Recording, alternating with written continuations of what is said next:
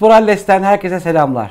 Fotosentezin bu haftaki bölümünde geçmişten fotoğrafları konuşacağız. Fotoğrafları konuşturacağız. Aklımıza gelenleri sıralayacağız. Ama Mehmet senin daha güzel sözlerin var. Evet, öncelikle abone olmalarını rica ediyoruz izleyicilerden ve bu videoyu beğenmelerini artı yorumlarıyla katkıda bulunmalarını. Ben kendi adıma şöyle söyleyeyim, uzun süredir dijital mecradayım.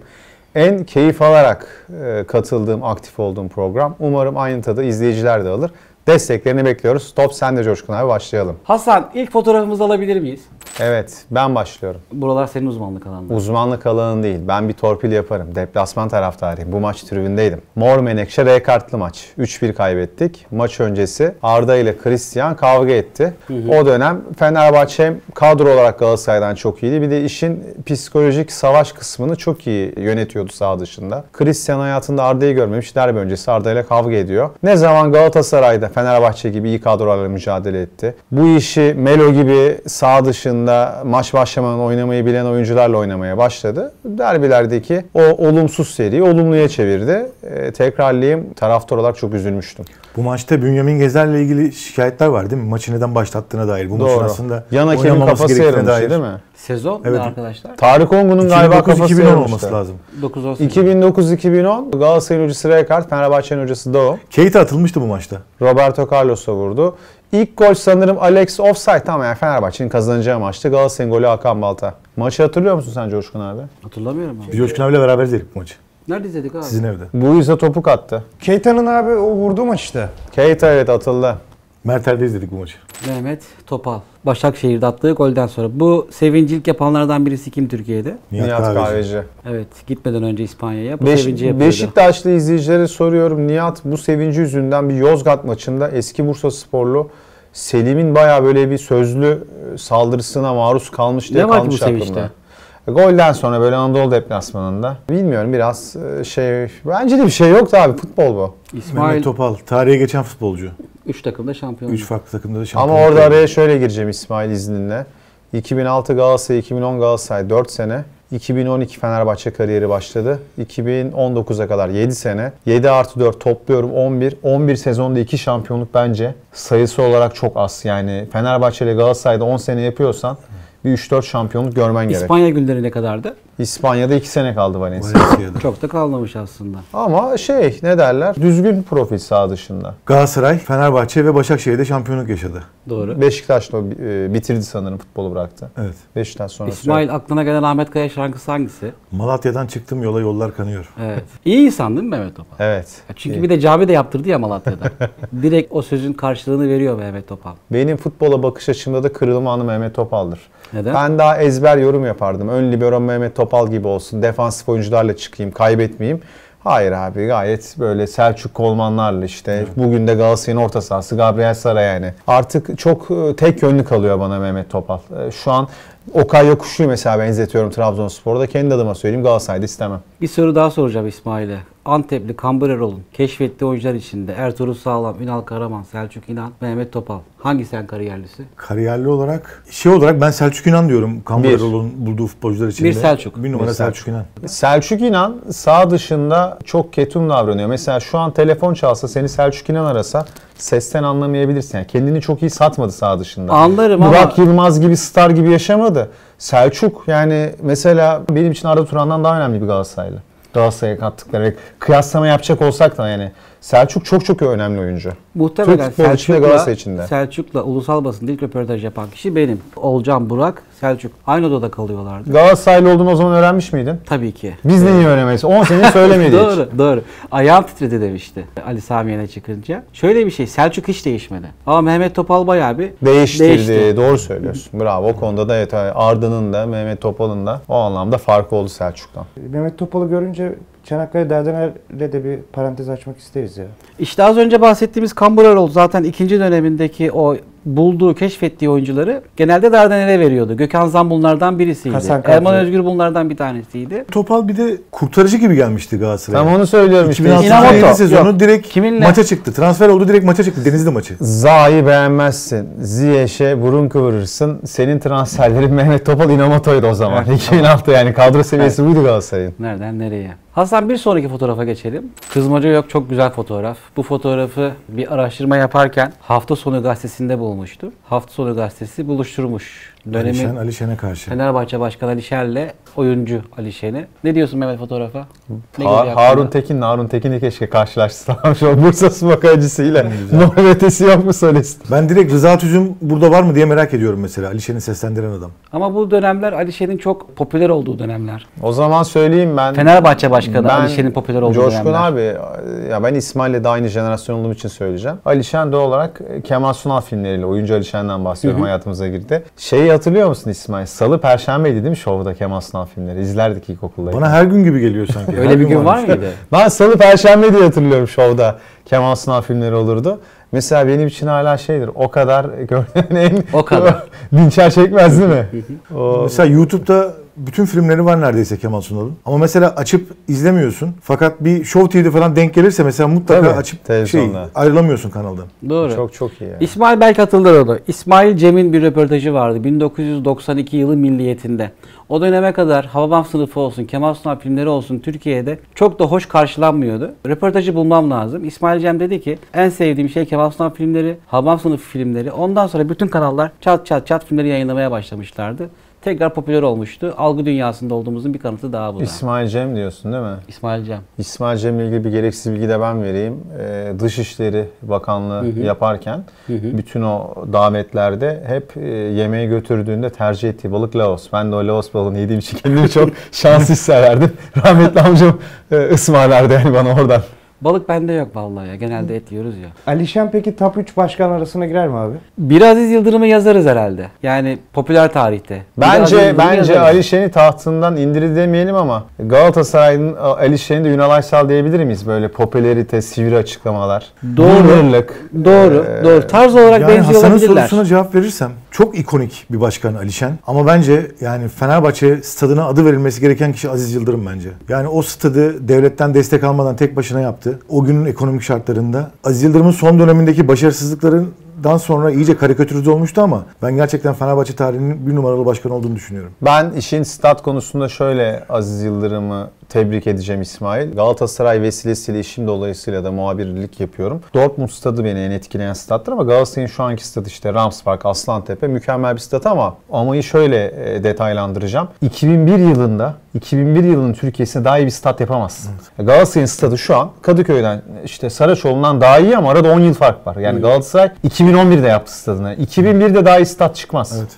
Ben de Aziz Yıldırım'ın yani görev aldığı süre boyunca yaptığı tüm açıklamalarda çoğunda haklı olduğunu düşünüyorum. Tek sıkıntısı tarzıydı, üslubuydu. Yani havuz konusu, televizyon yorumcuları konusu birçok konuda haklıydı Aziz Yıldırım. Ama maalesef döneminde değer görmedi diyeceğim. Ya ben de şöyle söyleyeyim. Sizden ayrıldığım nokta eksileri çok bende yani. Özellikle o futbolda şi- şiddet demeyeyim de o doğru cümle hangisi olacak çok alevlendirdi. Tansiyonu çok yükseltti. Fenerbahçe'de bence bundan muzdarip oldu. 1'i 17, 1'i 17 Fener'in yararına olmadı. 2000 ile 2010 Fenerbahçe'nin arayı aşması gereken zamanda. Yani çok 3 Temmuz üzerine işte Fenerbahçe'lerin savunması ve Galatasaray Fenerbahçe farkı ama 2000-2010 arası Fenerbahçe alıp götürmeliydi. Arada yine Galatasaray'ın 2002, 2006, 2008 Orada- 3 şampiyonluğu var. Yani o Aziz Yıldırım'ın yarattığı o iklimin de e, olumsuz etkisi oldu Fenerbahçe'ye. Aziz Yıldırım bir de şanssız, şu açıdan şanssız. Tarihin en iyi Galatasaray'ına denk geldi ilk başkanlık yıllarında. Doğru. Peki şey Aziz Yıldırım'ın 5 lastikli sezon dışında kötü olduğu bir dönem var mı?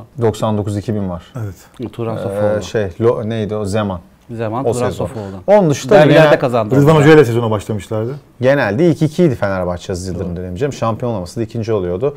Bir de şöyle hani sorsak şu an Aziz Yıldırım hep karikatürize edildiği için hoca gönderir, hoca gönderir. En son gönderdi hoca Laurent. Aragonis bile sezon tamamladı. Doğru. Advokat da sezon tamamladı. Yani hocanın sezon ortasında görevine son vermezdi. Özcan Can Aydın mesela çok sezon ortasında. Hacı gitti, Fatih Terim gitti. Doğru, Hatırla. doğru. Alişen'e geri dönersek abi en iyi transfer hangisiydi sizce? JJ Okocha. JJ. JJ Okocha, JJ Okocha da şundan şanssız. Hacı geldi. Hacı olmasa Aynı bambaşkaydı. anda geldiler. En iyisi geldiği için yani yoksa Bir de şeyin Okocha- üzerine geldiler ya, Oğuz Çetin üzerine geldi. Başka bir taraftarlar arasında başka bir durum da söz konusuydu. Çünkü çok sevilen bir insanın yerine geldiği için Hasan bir sonraki fotoğrafa geçelim. Oo. Bunu şöyle az önce algılardan bahsettim. Bunu da yine aynı hedefle koydum buraya. Yıllardır hep Sabri konuşuluyor Türk futbolunda. Ama Sabri'den daha önce yapılan başka bir hata daha var. Fenerbahçe'nin MTK maçında Alpay Özal'ın giydiği forma. Adidas böyle yazmıştı. Bu 0-0'lık maç değil mi? Deplasmandaki maç. Bu deplasmandaki maç. İçerideki maçta çubuklu forma giymişti Fenerbahçe diye hatırlıyorum. İçerideki maç Rüştü'nün hatası vardı. Kenesey, free kick. İkisini de o atmıştı. Evet. Aynı oyuncu. Şey Proton rek- göğüs reklamı. Doğru. Düz lacivert forma. Ben mesela Fenerbahçeli olsam düz lacivert forma isterdim. Tan Şolak zamanında hatırla Coşkun abi düz sarı forması vardı Fenerbahçe'nin. Şöyle üçgen Beşiktaş'ın aynı. Prototip deriz evet. yani hı. İşte. Bu renkte de çok hatırlamıyorum Fenerbahçe forması. Çok giymediler. Düz lacivert Adidas giymişlerdi mesela. Bülent Uygun döneminde. Bir Rebro'nun sanki böyle üstünde buna benzer bir forma vardı. Yani şimdi formayı bir sırttan Bravo. görüyoruz da. Araya reklamda. Evet. Doğru. Aa, bu arada şunu da söyleyelim lafı gelmişken izlediğim en iyi stoper galiba Alpay Bülent ya. Hani görüyoruz şu an Melihler, e, Abdülkerim Çağlar şu Galiba an aktif. doğru. Ben hala Bülent Alpay yani başka mevkilerde başka oyuncular geçildi ama işin savunma kısmında ben hala Bülent Alpay noktasındayım. Sabri konusuna gelirsek de buradan çıkıp Sabri konusunun çok konuşulmasının sebebi bence gene şey yapacağım hatırlıyorum Milliyet Gazetesi'nin başlığını vereceğim. Sarbi yazılmıştı Galatasaray Villarreal maçında Sabri'nin formasına. Bir zamanlar tarihi yazardı artık adını bile yazamıyor diye bir başlık atmıştı Milliyet Gazetesi. Çok Doğru. etkileyici bir başlıktı. Belki Bence de- şey de iyi başlıktır bu arada. 6-0'lık maç sonrası tarih bunu da yazar. O da çok iyi başlık. Geçen gün çok sevdiğim bir arkadaşım bir cümle yazmıştı. Ee, Gabriel Saray ile ilgili bir sıkıntı olursa Mehmet başlık hazır. Ne? Sara krizi. Ya biraz daha bir şey ofansimize olur olmaz. Atmıyorum. Doğru. Ee, Hasan bir sonraki fotoğrafa bakalım. Aa, Bülent Korkmaz'la Tugay Kerimoğlu 0-0. Glasgow'daki maç. Ama İstanbul'daki maç ya İstanbul'daki maç çubuklu forma giydik. Jardel çubuklu forma Tabii. giymişti. Bu maç 0-0 bitmişti. Doğru. Bu kombinasyon deplasman. Doğru. 0-0. Benim bu maçta hatırladığım değil de ilk Galatasaray Rangers maçında Tugay Kerimoğlu'nu hatırladığım pozisyon Emre Belezoğlu tat çizgisinin kenarında üstünden atıp topla geçmişti Tugay Kerimoğlu'nu. Hatırlıyorum. Ben şeyi hatırlıyorum. O Rangers bir 6 ay sonra da Fenerbahçe ile önelemede karşılaştı. Sonda Ümit Özat çizgiden top çıkardı. Fenerbahçe şampiyon yine kalamıyor. Levivo, Hatırladınız mı? Levivo bir Ve bu 0. frikikten attı evet. Serhat Akın attı. Sonra bir 2-1 yaptı Rangers. O karşılaştık yani. Hem Galatasaray hem Fenerbahçe karşılaştı. Tugay'ın başka karşılaştığı takım var mı Türkiye'de? Blackburn Gençler Birliği. Gençler Bravo. Blackburn. Abi hep bunlar uzmanlık soruları.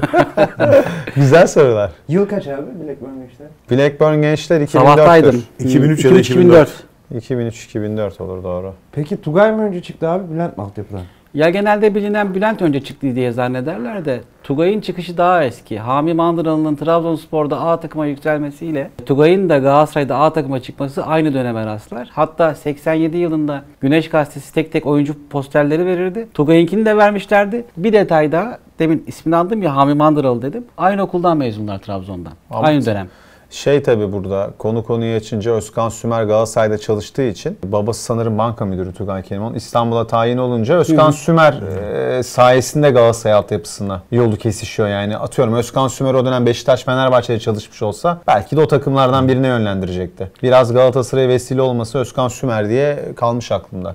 Tugay'ı ama çok seviyorduk çocukken yani sahadayken Galatasaray'dayken. Ama çok üst düzey oynayamadı Tugay Galatasaray'da. 93-94 çok iyiydi. Çok iyi olduğu dönemler vardı. Manchester dönemlerinden bahsediyorsun. Evet, 93-94. Bir de taraftarın aşırı sevgisi vardı. Bak Barış Alper Yılmaz 2 yıldır Galatasaray'ı şampiyonluğa taşıyan isimlerden. Barış Alper Yılmaz şimdi eleştirilmeye başlıyor yavaş yavaş. Tabii. Taraftarlar biraz şey yapabiliyor Barış Alper Yılmaz'a. Daha bir yerli oyuncuya karşı tolerans düzeyin düşük İşte oluyor. Kerem o şekilde gitti. E, Tabii. Tugay ama her zaman sevildi takımda. Her Tugay'ı zaman ben de canım şeyken ama. Evet hatta yeri gelmişken söyleyeyim mesela. Kurallarda yok. 99-2000 sezonunda Galatasaray'da maç yapıyor. UEFA Kupası'nda Tugay oynuyor. Fakat UEFA Kupası kazananlarda Tugay'ın ismi yok. Bence olması lazım. Tartışmaya çık abi o. Bence kapalı işte yani. Çünkü emek verenlerden birisi bu. Yani Hertha Berlin ikonik PlayStation sevincinde Ama Tugay da var. Hertha Berlin Bologna maçı- maçında Tugay da var. Hertha Berlin maçı Şampiyonlar maçı. Bologna maçını oynadın bak onu hatırlamıyorum. Bolonya'da oynadı. Hatta Bologna maçı galiba son maçı olması lazım. Kadıköy'deki 2-1'lik Galatasaray maçı öncesi ya da sonrasıydı.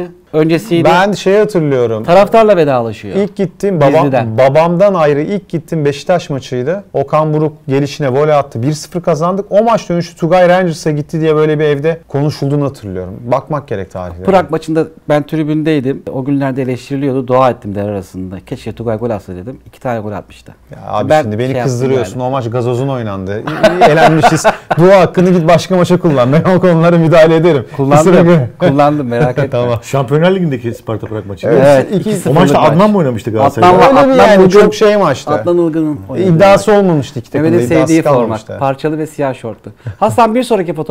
Bence bir dönemi anlatan en güzel fotoğraflardan bir tanesi. Metin Ali Feyyaz, üzgün kaleci. Müthiş bir kare bence. Bir oyuncu grubuna yapılmış, bestelenmiş en güzel, en egonun tavan yapacağı tezahürat. Metin Ali Feyyaz atsın. 1-2-3 gol yetmez, 4-5-6 olsun. Metin Ali Feyyaz atsın. Atsın Beşiktaş'ım şampiyon olsun. Evet. Çok Size güzel de bir şey tezahürat. sorayım. Kontra gibi olsun. Geçenlerde HT Spor'da Ahmet Selim'le Mehmet Ayan'ın konuklarıydı. Rıdvan Hoca, Muhteşem Aykut programdı. Kocaman ve Oğuz Çetin.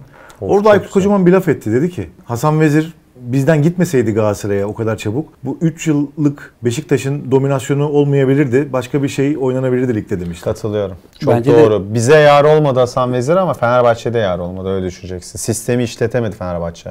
Doğru. Bazen öyle kırılma anlar oluyor transferlerde. Hani rakip takıma yaramaması için de hani e, gelmesi gibi. Hasan Vezir özel oyuncuydu. Biz bir dönem mesela Burak Yılmaz'ı ona benzetiyorduk biz. Hasan Vezir'e benziyor diyorduk. Ama şimdi düşündüm bak fotoğrafı görünce Coşkun abi. Metin Ali Feyyaz, Oğuz Rıdvan Aykut, Tanju Uğur Prekazi. Ya ne kadar güzel kıyaslamalar ya. Çok güzel üçlüler vardı bir dönem. Hasan bir sonraki fotoğrafa bakalım. İlk hatırladığım Trabzon maçı. 5 tane attıkları Bursa maçı, kupa finali. Mehmet zaten bu fotoğraf da Bursa Spor'la oynanan kupa finalinden Tabii. sonra goller atanların çektirdiği fotoğraf. Son golü şeyim uzattı. Muhtemelen gol sıralaması bile öyle olmuş Ben de şeyimizi görünce aklıma direkt Lyon maçı geliyor ya. Teleon'da yayınlanan e, Hami'nin horon teptiği maç. Evet. Coşkun abi sence sıralama öyle. Mesela 3. golü Soner mi atmış? Ben İnan ki hatırlamıyorum biliyor musun gollerin Ben son golü hatırlıyorum. Şeyimiz böyle şeyden attı. Çapraz uzaktan kalecinin e, böyle yetişemediği köşeye. Ya ben Hami ile Hamdi'yi çok severdim. O forma, Üzüldüğüm- forma çok güzel ya. Evet doğru. Üzüldüğüm şeylerden bir tanesi bu ha- Hamilerin, işte Hamdilerin şampiyonluk yaşayamaması. Üzücüydü yani. Tabii. Dorukhan'ın var Trabzonspor'da şampiyonluğu. Hami'nin Hami'nin yok. İsmail Köybaşı'nın var Trabzon'da. Bu arada şeyi söyleyeceğim. Yani en sevilen Trabzonspor kadrolarından bir tanesiydi bu. Ben şeyi çok iyi hatırlıyorum. Hep de söylerim onu. Saat almaya gitmiştik Antep'te büyük pasaja. Aynı saatlerde Barcelona Trabzonspor maçı var. İlk maç Küçük Hamdi'nin gol attığı. Öyle bir gürültü koptu ki o esnada. İnanılmaz bir gürültüydü. Herkes gol diye sevindi. Sanırım şimdi 2024 yılındayız. Trabzonspor'un bir Avrupa maçı olsa herhalde ses gelmeyecek kimseden. Kimse sevinmeyecek belki de Trabzonlular dışında. Yok. Öyle bir dönemde yaşıyorduk. Trabzon deplasmanında bir puana sevinirdim. Ben onu hatırlıyorum 97'lerde Evet. falan. Fatih Evet. Hoca. Fatih Terim'in oyununu söyleyeyim ya. Yıllarca şey, Trabzon'da maç kaybetmedi Fatih Hoca. Tabii e, bir. Rodega 4-0'lık maça kadar e, Galatasaray kariyerinde Trabzon deplasmanında yenilgisi yoktu. O az buz başarı değil. Evet Balişli kadroyla bile kazanmıştı. Hep kazandı. Ee, Alpay Bülent dediniz ya bu orayı zorlayabilecek tek isim o gün olabilir mi? O gün ben o sorunun cevabını şöyle vereceğim Hasan. Ben bu konuya da kafa yoruyorum. Özellikle Sergen Yalçın üzerinden artık çünkü sinirlenmeye de başlıyorum. Biz sustukça millet çok ahkam kesiyor. Arkadaş Zidane'la falan kıyaslamayın lütfen. Sergen'i kıyaslayacaksak Brezilya'da 10 tane oyuncu sayarım. Rivaldo'su, Ronaldinho'su, Lincoln'u, Marcelinho'su. O dönem futbolcunun ah şimdi oynasaydım diyecek en net futbolcu o gündür. Şu Çok an kompleydi ya. şu Çok an yani değeri yok o günün. Çok. Ee, Gullit gibi oynamadığı mevki yok. Çok iyi oyuncuydu o gün. Yani Üçlü oynar, oynar. dörtlü oynar, orta saha oynar. Ön libero oynar, stoper oynar. Şey forvete de atarsın. Evet. İsot yani Hoca, Fatih Hoca'nın donka attığı gibi o gün at oradan gol de çıkar. maçında bir ileri çıktı işte. Tabii. Yani en böyle ah şu zamanda futbolcu olsaydım demesi gereken oyuncudur o gün. Ee, Aslında zaten şeyden de anlayabiliriz. Ben hep gördüğüm o güne soruyorum. İsminiz neden o gün diye. Hepsinin isim babası. Doğru, doğru. Asıl o gün zaten altı parmak. Onun da e, olmasının sebebi 10 Kasım'da doğuyor olması. Abi Hami ile Galatasaray'ın hikayesi yarım kaldı diyebilir miyiz? Hami çok istendi Galatasaray tarafından. Hami çok istedi Galatasaray'a gelmeyi. Kardeşi galiba istemişti Hami'nin. Abi sana burada küfrediyorlar. Trabzon'dan ayrıl, İstanbul'a git gibi bir şeyi vardı. Hami'den sert vuran oyuncu görmedik değil mi Abanma'da? Yok, görmedik. Bence görmedik. Hami penaltı kaçırdı mı onu düşünüyorum. Sen geçen söyledin Coşkun abi. Ankara gücüyle galiba kaçırdı. Ank- o da kariyer Evet. gitti yani. Hami galiba O bir daha de üzücü bir şey bir zaten. de Adana Spor'u 7-1 mi ne yenmişlerdi? Galiba kaleci Ersin vardı. Galiba Ersin de Hami'nin penaltısını kurtardı o maçta. Nasıl kurtarırsın İsmail ya Hami Denk penaltısı? gelmiştir. Hasan bir sonraki fotoğraf. Yani fotoğraf çok güzel olmayabilir ama hikayesi çok güzel. Rıdvan'ın sakatlıktan döndüğü maç. İzmir. 90-91 sezonu. 20 Ekim 1990. Bir cumartesi günüydü bu maç. Şöyle kısaca özetleyeyim. Rıdvan sakatlıktan dönüyor. Karşıyaka deplasmanı. Oyuna girdikten sonra golünü atıyor. İnanılmaz oynuyor. Ertesi günde nüfus sayımı var. Evde nüfus memuru geldiğinde Rıdvan'a doğum tarihi soruluyor. 20 Ekim 1990 diyor. Bu maçı doğum Bu maçı anlatan ediyor. da Öztürk Pekin. Rıdvan Hoca oyuna girdikten sonra bir çalım atıyor. İşte eski Rıdvan'ın hareketleri bunlar diyor. Ama 90-91 Fenerbahçe açısından hayal kırıklığı. Nereden biliyorum? Galatasaray Zaniolo ile Fenerbahçe'yi yendiği zaman 32 sene sonra Fenerbahçe 2'de 2 yapmış oluyordu. Yani o sezon biz Fenerbahçe 2 maçta değindik. Tanju hatta çok güzel bir uçan kafa golü attı. Sami Yen'de iki maçta böyle voleyi yere çarptırdı. Schumacher'den aşırtmalar falan. İki maçta da yenmişti Galatasaray Fenerbahçe'yi. demişken de bu maçtan bir sonraki maç Atalanta maçıydı. Rıdvan'ın formasını yırtmışlardı. Tutamamışlardı. Benim işte ilkokul 2'deyim sanırım bu fotoğrafta ama ben Galatasaraylı olduğum için daha Tanju Prekazi hatırlıyorum. Çok hani Rıdvan'ın bir şeyi hatırlıyorum. Sanki bir Bulgar takımıyla eşleşmişti Fenerbahçe. O maçı iyi oynamıştı. Boteo Plovdiv. Olabilir mi? Oynamış mıydı? Oynadı Böyle Tanju ile 2-2 beraber. mi bitti? Bir şeyler hatırlıyorum öyle. Gollü maç olmuştu. Forma çok güzel Mehmet abi. Sarı kollar bu formayla Mert Hakan Fenerbahçe'ye transfer oldu. 3-4 sene önce Fenerbahçe buna benzer bir çubuklu, yani sarı ağırlıklı çubuklu çıkarttı. Sırtı da sarıydı galiba değil mi? Olabilir. Bunun sırtında mavi üzeri sarı yazı vardı ya. Ben hani Galatasaray özelinde söyleyeyim. Ben özlüyorum o sarı kırmızı tonunu. Bilmiyorum Fenerbahçeliler özel. Fenerbahçe'de biraz daha sarı mavi gibi Mavi. bak o dönemki formalar. Doğru, doğru Mehmet. Tanju'nun o hatırla anons edildi Fenerbahçe zamanı.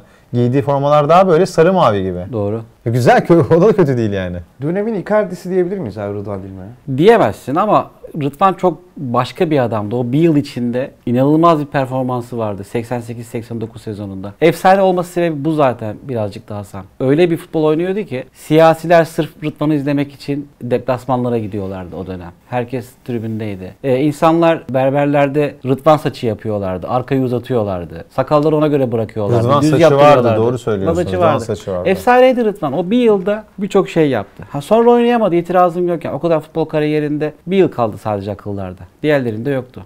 Tanju Çolak, Rıdvan Dilmen birer şampiyonlukları var kariyerlerinde. Bir, bakarsın. Doğru. Hasan bir sonraki fotoğrafa bakalım.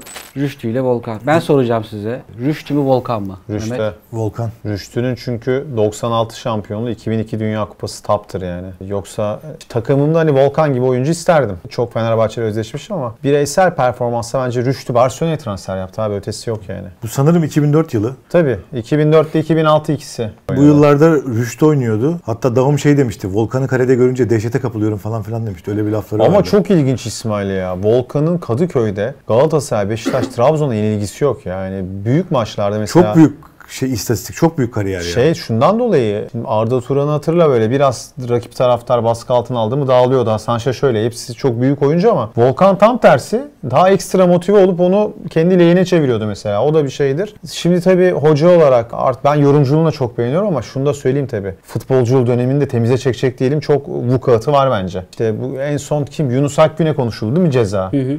Volkan Demirel basket maçına gidip Galatasaray'a küfür tezahüratları eşlik etti Doğru. hatırlarsan yani. Doğru. Futbolculuk dönemini ben çok savunamam. Şundan dolayı hiçbir zaman ben Volkan Demirel'den nefret etmedim. Çünkü benim takımımda Volkan gibi oyuncu isterdim. Anlatabildim işte. Melo'yu severim mesela. Melo, o yüzden Lugano, 200'lük Bülent yapamam. Korkmaz, Volkan ama hani o döneminde çok savunamam yani. Ne demek istediğim anlaşılmıştır. İyi kaleci. Lafım yok ama Rüştü bence daha Rüştü bence en iyi yerli kaleci. Arma hala 3 yıldız abi. Doğru söylüyorsun. 3 yıldız. Oradan zaten anlaşılıyor. 2003-2004'te Rüştü yoktu çünkü. İsmail sen detaylandır. Neden e, Rüştü de- değil de Volkan diyorsun? Yani Volkan'ın ben daha iyi bir kaleci olduğunu düşünüyorum Avrupa çapında. Yani Rüştü Barcelona'ya gitti. Biraz da Rüştü bize şey gibi geliyor. Biraz mitolojik kahraman gibi geliyor bizim jenerasyona. Euro 96'daki ıslak saçı. Yerde yatıyor falan böyle. Kaleci kazakları. Biraz daha şeydi. Biraz daha artistik bir tarzı vardı. Trabzonspor maçı. Ama ben Volkan Demirel'in kalede duruş olarak bu Arsenal mesela istemişti o zaman. Gerçekten gitse başka bir şey olabilirdi. Rüştü'nün galiba keşfedilme hikayesi şöyle oluyor. Yani bizim duyduğumuz o e, abilerimizden. Fatih Hoca Piontek'in yardımcısıyken Antalya Spor'un itmanına gidiyor. Soruyor sen ne iş yapıyorsun diyor. Sen ne yapıyorsun burada diyor. Ben bu takımda kalecilik yapıyorum ama diyor kaza geçirdim diyor. Yarın geleceğim seni bir izleyeceğim diyor. Terim öyle fark ediyor Rüştü'yü. Yani Terim'in keşfi olarak piyasaya çıkıyor. Rüştü Reçber. Fotoğraflarımız bu kadar. İsmail en çok hangi fotoğrafı beğendin? Alişen Alişen'le buluşuyor fotoğraf. Mehmet ben de aynı şekilde. Ben de aynı şekilde. Ne yazık ki aynı görüşteyiz. Bir çıkıntılık yapamayacağım. Alişen ve Alişen'in fotoğrafını çok beğendik. Mehmet sen şeyi çok güzel söylüyorsun. Like, yorum Evet, e, rica ediyoruz. Destekleriniz önemli. Biz bu programdan çok keyif alıyoruz. Hatta önerilerinize de açığız. Lütfen yorum kısmında nasıl fotoğraflar, Konsept. konsept konusunda bizi yönlendirebilirsiniz. Beğenmeniz, abone olmanız, yorum yazmanız bizler için değerli. Desteklerinizi bekliyoruz.